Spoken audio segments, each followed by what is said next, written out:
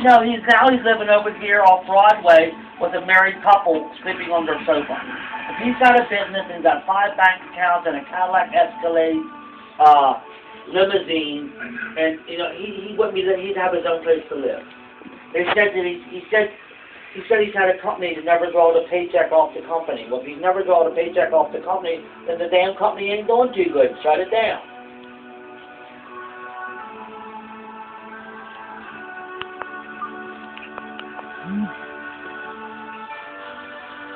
Uh, that's called slinging the shit. If, you know, wish he could show you the pictures. Yeah, I remember. That's called sling. I told you he's full of shit.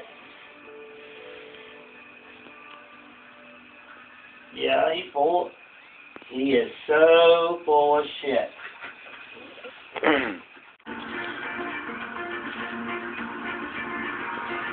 That